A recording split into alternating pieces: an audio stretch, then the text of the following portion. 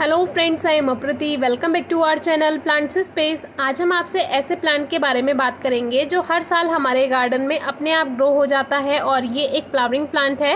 तो कैसे इसके सीड्स हमें मिले, कैसे और क्यों ये अपने आप हमारे गार्डन में ग्रो हो जाता है, यही बातें आज आपसे शेयर करेंगे। बहुत ही खूबसूरत फ्लावर है। सबसे पहले ये एक जेट्रोफा का प्लांट है, जिसको हमने 12 इंचेस के पॉट में लगाया हुआ था और ये अच्छी ग्रोथ कर रहा था। लेकिन जब इसमें ये सेकेंड प्लांट अपने आप ग्रो हो गया, उसकी वजह से हमारा ये जो जेट्रोफा प्लांट है, ये ग्रोथ नहीं कर पा रहा है, क्योंकि सारी जो जगह है मिट्टी में हमारे सेकेंड प्लांट ने ले ली है। लेकिन फिर भी जेट्रोफा के कुछ फ्लावर्स हमें मिल जाते हैं और इस तरह तरह के पिंक कलर के छोटे छोटे फ्लावर्स आते हैं इस पर।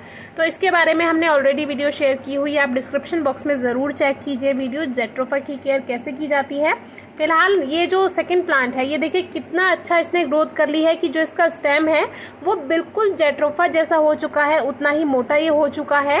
तो आप समझ ही सकते हैं कि सारी मिट्टी की जगह इसी ने ही घेर ली है, इसीलिए जेट्रोफा ग्रोथ नहीं कर पा रहा है। और जेट्रोफा प्लांट को कम पानी चाहिए और हमारे सेकंड प्लांट को ज़्यादा पानी चाहिए। तो कभी भी ऐसा प्लांट आप ग्रो ना करें एक साथ जिसको एक को तो ज़्यादा पानी चाहिए और एक को कम पानी चाहिए। तो उसमें क्या होता है, एक प्लांट खराब होता ही है।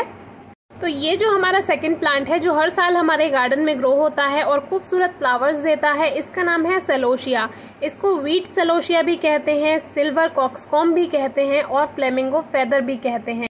तो ये जो प्लांट है, इसके जो फ्लावर्स हैं, इसको हम आपस में फ्लेमिंगो फ्लावर्स कह देते थे क्योंकि इसके फ्लावर्स बिल्कुल देखने में फ्लेमिंगो जैसे लगते हैं। फ्लेमिंगो एक बर्ड होती है पिंक कलर की, जो ज़्यादातर समुद्री इलाकों में पाई जाती है क्योंकि वो एक सी बर्ड होती है। आप नेट पर ज़रूर सर्च कीजिएगा।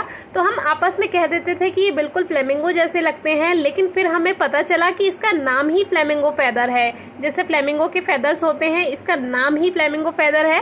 तो ये जानकर हमें बहुत ही ज़्यादा अच्छा लगा कि हम तो ऐसे ही हमें, जैसे हमें ये फ्लावर्स देखने में लगते थे फ्लेमिंगो जैसे तो हम इस वजह से इनको फ्लेमिंगो कह देते थे।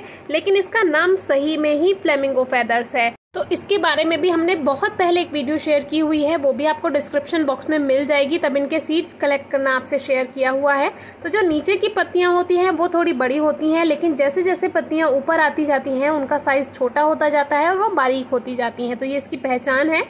जो कॉक्सकॉम्ब होता है, बिल्कुल उसी फैमिली का ये प्लांट है। वैसे ही इसमें सीड्स बनते हैं, बस फ्लावर्स थोड़े से डिफरेंट होते हैं। उसमें ऊपर जाकर एक कलकी जैसा बन जाता है फ्लावर लेकिन इसमें इस तरह के छोटे छोटे फ्लावर्स होते हैं। अगर आपके गार्डन में मधुमक्खियाँ नहीं आती हैं पॉलिनेटर्स नहीं आते हैं, जो कि आपके सब्जियों के और फलों के पौधों में परागण कर सकें तो आपको ये प्लांट ज़रूर ग्रो करना चाहिए, क्योंकि इस प्लांट के जो फ्लावर्स होते हैं, इसमें ढेर सारी तो हनी बीज आती हैं, यानी मधुमक्खियाँ आती हैं, और तरह तरह के भवरे तरह तरह की फ्लाइज आती हैं, जो आपके सब्जियों और फलों के पौधों में काफ़ी हेल्प कर सकती हैं पॉलिनेशन के लिए।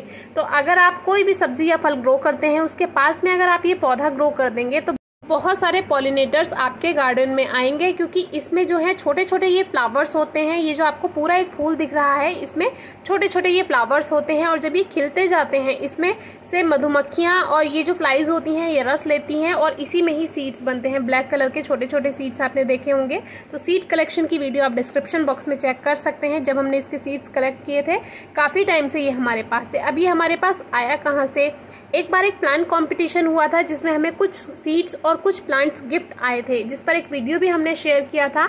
तो उसी में कुछ वेजिटेबल सीड्स थे, कुछ ये फ्लावरिंग सीड्स थे और कुछ नए पौधे थे, नए तरह के। तो उसमें आप डिस्क्रिप्शन बॉक्स में वीडियो चेक कर सकते हैं किस तरह के गिफ्ट हमें मिले थे।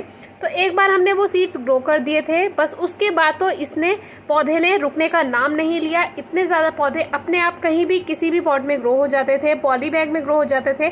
छोटा पॉली बैग रहता है तो प्लांट छोटा रहता है और कम फ्लावर्स आते हैं। अब इसको ट्वेल्व इंचज़ का पॉट मिल गया। तो इसने पूरी तरह से ग्रोथ कर ली और आप देख सकते हैं कितने सारे फ्लावर्स प्लांट पे आ गए और जो स्टेम है प्लांट का वो भी काफ़ी बड़ा और मोटा हो गया। तो इस तरह से बड़े पॉट में लगाएँगे तो बड़ा हो जाएगा, छोटे पॉट में लगाएँगे तो छोटा पौधा रहेगा। इस प्लांट को मिनिमम थ्री आवर्स की सनलाइट यानी तीन घंटे की धूप में अच्छी ग्रोथ कर जाता है। फर्टिलाइज़र की कोई रिक्वायरमेंट नहीं होती है। खास अगर आप देना चाहें, जैसे जेट्रोफा में हम कभी कभी फर्टिलाइज़र दे देते थे तो उसी से ही ये ग्रोथ करता गया। बाकी इसको फर्टिलाइज़र ना भी दें तो भी ये बहुत अच्छी ग्रोथ कर जाता है। एक तरह से ग्रास यानी घास की तरह ही ग्रोथ कर जाता है ये। और सनलाइट आप इसको तीन घंटे की बताई नमी इसको थोड़ी ज़्यादा चाहिए, क्योंकि दोपहर की तेज़ धूप जब पड़ती है तो फिर ये मुरझाने लगता है, अगर मिट्टी सूख जाती है। तो इसीलिए हमें इसमें दिन में दो बार पानी देना होता है, बाकी आप अपने अकॉर्डिंग चेक कर सकते हैं। गर्मियों में और बारिश के सीज़न में ऐसे ही इनके सीड्स बिखेर दीजिए तो ग्रो हो जाते हैं। Thank you